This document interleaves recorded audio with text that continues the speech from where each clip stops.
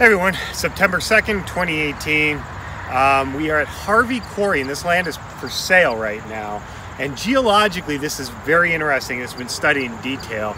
Its location is on the west side of US 41. Lake Superior is that way, along with uh, the Michigan uh, rest area.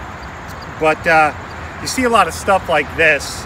This is uh, a, this is probably a chunk of Mesnard quartzite.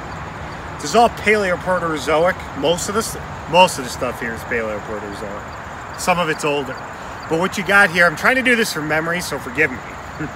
uh, you've got the Mesnard quartzite here. You've got the Kona uh, dolomite here, or marble. Uh, and it's very tightly folded. There's like a syncline here. We're on the edge of the Marquette synclinorium. But the most prominent feature, you can't really tell by looking at the rock from here. There's a lot of stromatolite. There's a marker bed that's a, that's stromatolitic within the Kona. That's how we know this is a syncline. Uh, but that's not the most prominent feature here. The most prominent feature here is a shear zone.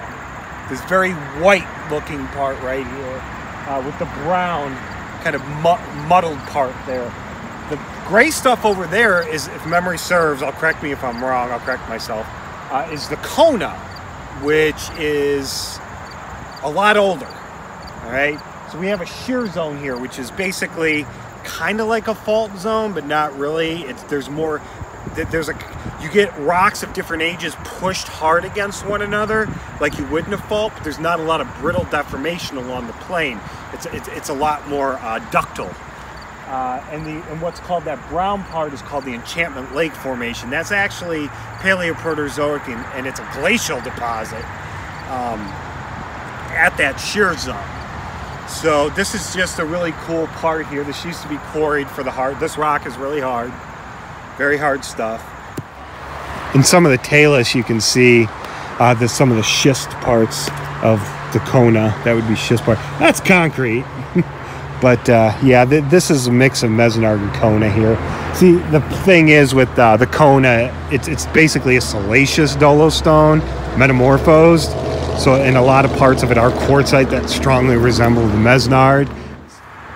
This is a detached block. This is likely, definitely Kona. Um, but there's some cool stuff here. You can see slick sides from movement here. Uh, Oh, th no, this is quartzite. This might be Mesnard, but there's some ripples on it too. That's what first caught my eye as I was coming up on it. You can see some bigger ripple structures.